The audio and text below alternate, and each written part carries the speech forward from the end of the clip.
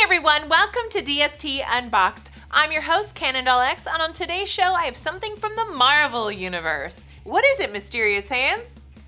It is the Wasp. As you can see, it is a full color window box, great for displaying. This is a PVC diorama.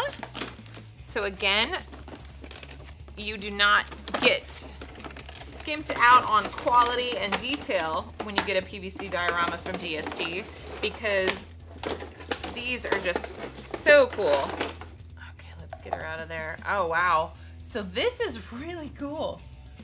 Her little blast there. Can't go anywhere without her wings. I mean, technically she could, but that's no fun. And then there's the bottom one. So it's that way. There you go. There you go. Ta-da! I did it. So this is really cool. Classic suit for Janet Van Dyne. You just see the blast from her hand. Inside the little energy bubble, you can see her fully gloved hand. And it's just, it's rad they do that. Like just, it's like a comic book. I wanna show you more. Let's cut to the 360. A Diamond Select Toys release.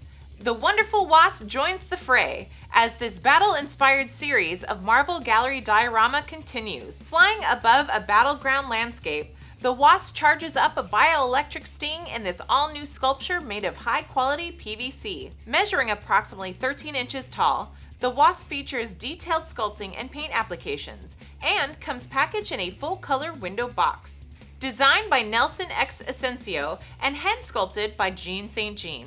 As you can see, this is just a really cool piece. Classic comic book, her whimsical outfit, it's super fun. You can also get Captain America, Vision, Wolverine, and Spider-Man all part of that Battleground series of the PVC dioramas. Head over to diamondselecttoys.com to find yours, where it's the best of all worlds. Okay, what am I doing? Uh, Hi, welcome to the show. That's what we're doing. And.